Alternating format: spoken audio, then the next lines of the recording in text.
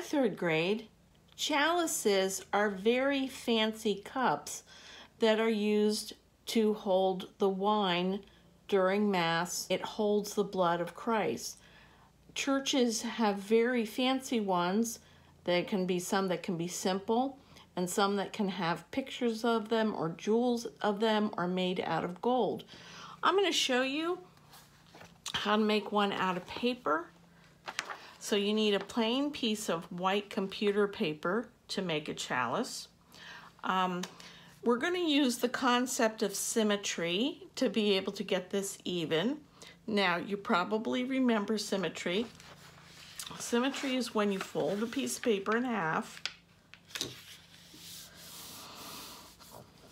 and you draw on one side so that when you cut it out, it's even and the same on both sides. Think of when you cut out a heart. You only have to do half a heart because you know that um, if you draw half a heart with the fold, when you open it, the other side will be even. That's using the idea of symmetry. Well, the same is going to hold true for our chalice. Now, the top of the chalice is a cup, so you have to have an area up here that's going to be um, where um, the wine is going to be.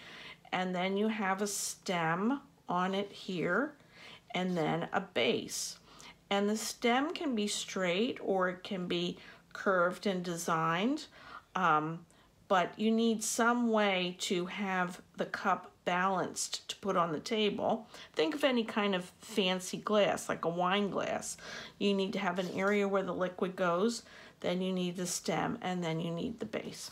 So now that we have it folded, I'm going to, I'll first start with pencil, and I'm going to come in from the edge, maybe about a half an inch, and I'm going to make a U shape.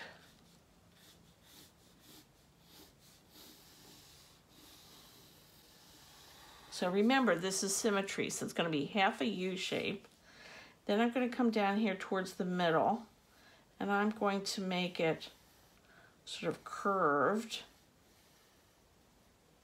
And then as I get closer to the end, I want to taper it down so that I can imagine, take it to the edge, curve it, or straight down. I want to think about, okay, it's going to sit on the table. So let me go over this with Sharpie markers so you can see. Um, let me grab a scrap piece of paper here because sometimes Sharpie marker leaks through and you don't want to make a mess on your table. But I like to do it in pencil first so I can... If there's a pencil line I don't want, I can just erase it. And you can see here how I've made half a chalice, okay? See there? The middle is the stem part here, and then this is the part here that the, um, the wine goes in in the base. So I'll take my scissors and I'm gonna cut I'm actually going to cut inside the dark line because I don't want um, the dark line showing through when I open my paper.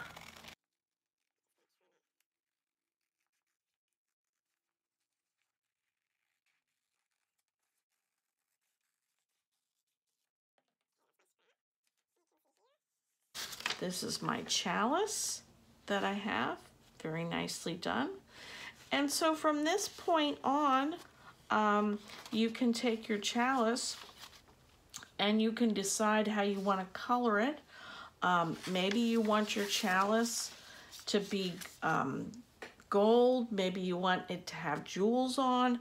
Um, chalice design is all over the place. Um, I learned from a priest once that sometimes chalices were given to new priests as gifts.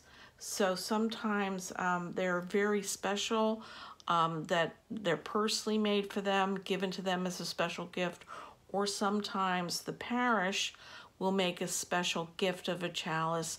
Let's say if a priest has been at their parish for a long time, maybe an anniversary, like 20 years or 25 years or something, they get a special chalice. Or someone made a special gift of one and it's it's a special one that's been used for years and years. So a lot of the um, chalices used in church um, often have uh, some personal history associated with them.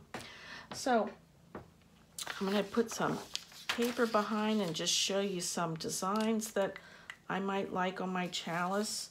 Um, if I want it to really stand out, I can always take a black Sharpie marker and outline it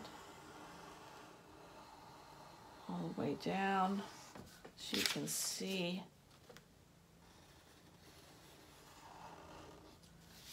my pattern. If you don't have Sharpie marker, that's fine. You can just color it as you want. Oops.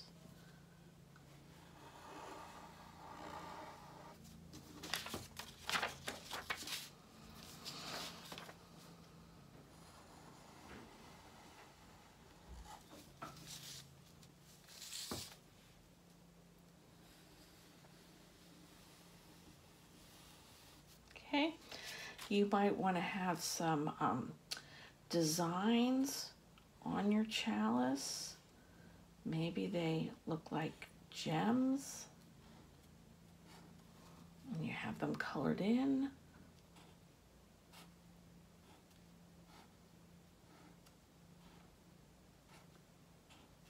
Okay. Um, maybe you have some sort of special um, special design or medallion in the middle. Put this here.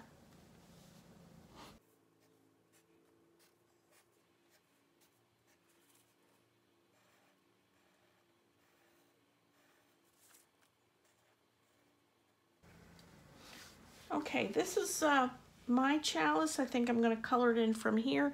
You decide how you want to draw on your chalice.